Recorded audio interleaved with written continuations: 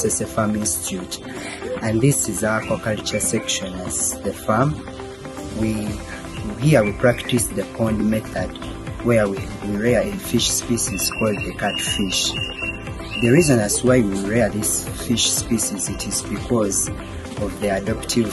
It's a method of adapting to the environmental conditions, the ability that it can stay in a stagnant water of the pond unlike the other fish species like the Nile perch.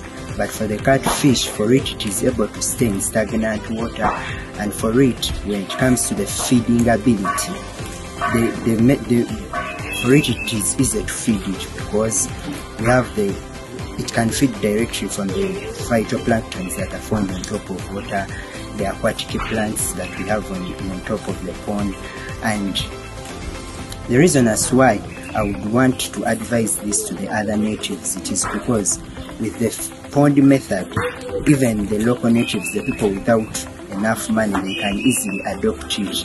How? That even if you don't, even if you don't use the cementing method of the pond, you can use tarpaulin.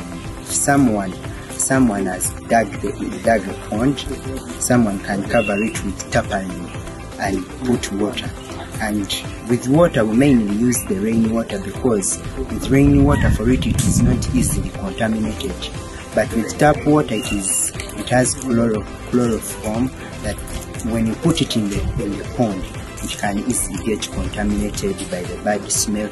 And for the safety of the fish it cannot accommodate it. But for the local natives apart from having the tarpaulin the tarpaulin being the cheapest way they can use they can collect rainwater because rainwater is within the reach of everybody yes. And then the other thing is with this with this pond method the catfish when when it is brought as the fries at the juvenile stage it only takes a period of two to three years to harvest.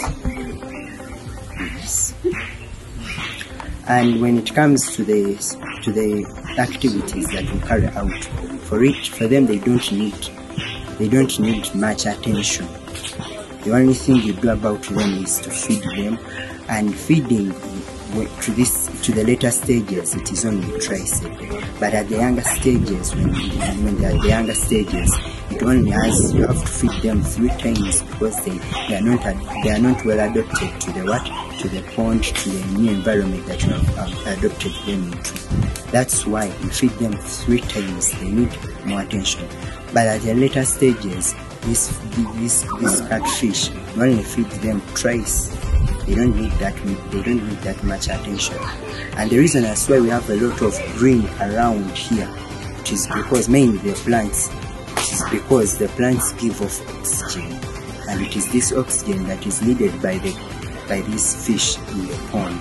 That's why we always whenever there is a pond whenever there is a pond of fish whenever there is aquaculture there is always a lot of plants. So that these plants in the process of photosynthesis they are able to give off the oxygen that is needed by the, that is needed by these fish